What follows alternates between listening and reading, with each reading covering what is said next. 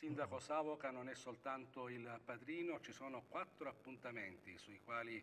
eh, lei ha puntato l'attenzione nel corso dell'anno che mh, puntano a proiettare il nome di questo borgo a livello nazionale e internazionale. In questo contesto si eh, inserisce l'organizzazione della Passione di Cristo, oltre 100 le persone coinvolte che faranno parte eh, quali attori, tecnici e così via. E, per quanto concerne un appuntamento diventato punto di riferimento non soltanto per il comprensorio, ma va al di là ha detto bene, a Savoca oramai sono quattro gli appuntamenti fissi eh, di rilievo, che sono appunto la Passione di, di, Cristo,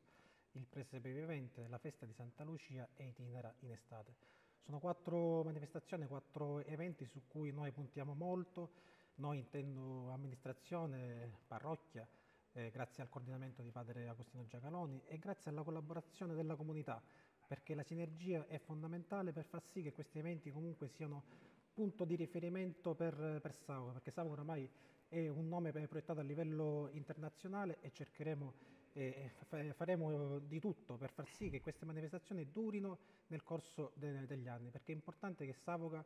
tramite queste manifestazioni porti avanti quello che è la cultura del paese di Savoca. Sì, sì, è cambiato parecchio dalla, dalla prima edizione. E il nostro impegno si è concentrato eh, prima di tutto su quello che è la, la recitazione, l'interpretazione degli attori che non sono professionisti, questo lo dobbiamo sempre sottolineare, ma siamo felici del lavoro ottenuto insieme a loro nell'ultimo mese e quello che stiamo ottenendo adesso nelle ultime prove qui a Savoca e sabato, sarà, sabato 1 ci sarà la prova generale. Per quanto riguarda mh, gli effetti speciali, sì, colonna sonora, effetti speciali e quant'altro, abbiamo lavorato tantissimo in queste dieci edizioni eh, con il supporto anche di un grossissimo studio di Milano, eh, siamo riusciti a ottenere dei, dei grandissimi risultati e la crocifissione è diventata davvero talmente disarmante anche per noi dello staff che non possiamo fare altro che commuoverci anche noi. Sì, come ho già detto poc'anzi durante la conferenza stampa,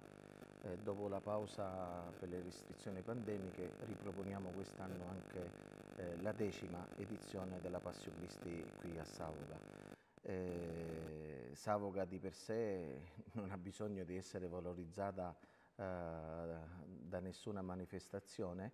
però con la Passio Cristi eh, diamo un'importanza eh, più visibile a quella, a, che, a quella, che, è l'immagine eh, del nostro paese. Ed è bello, è una manifestazione bellissima, c'è dietro tanto lavoro, tanta collaborazione, tanta sinergia. Eh, quello che mi piace è evidenziare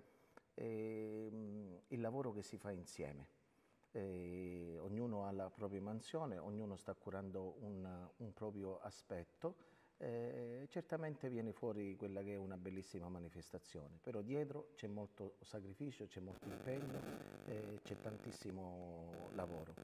eh, e quest'anno la vogliamo riproporre. Ecco, ci auguriamo che eh, come negli altri anni, d'altronde veniamo forti dall'esperienza del presepe vivente che abbiamo vissuto eh, a Natale eh, e quindi forti di questa esperienza riproponiamo anche quest'altra esperienza,